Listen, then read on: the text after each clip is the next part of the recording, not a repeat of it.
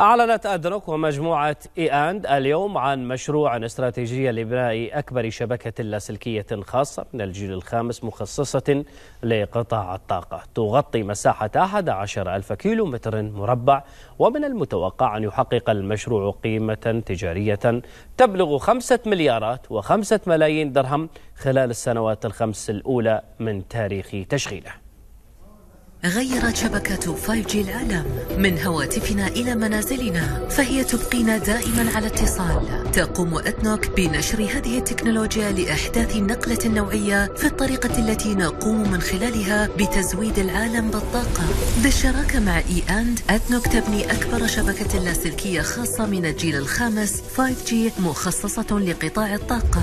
فمن غرفة التحكم وصولا إلى اجتماعات مجلس الإدارة توفر هذه الشبكة اتصالا لاسلكيا عالي السرعة وهو ما يسمح لنا بجمع المزيد من البيانات الفورية من مسافات بعيدة تقدر بآلاف الكيلومترات المربعة في مناطق أعمالنا. هذه البيانات تستخدمها أحدث أدوات الذكاء الاصطناعي للقيام بالمزيد من العمليات ذاتية التحكم والابتكارات الأخرى وتوفير فرص جديدة لإنتاج طاقة بطريقة أكثر ذكاء ورفع الكفاءة وتعزيز سلامة الكوادر البشرية. ومن خلال دمج الذكاء الاصطناعي في أعمالنا فإننا نعمل على تقليل الانبعاثات وخلق المزيد من القيمة مع تعزيز الرخاء والتقدم في كل مكان.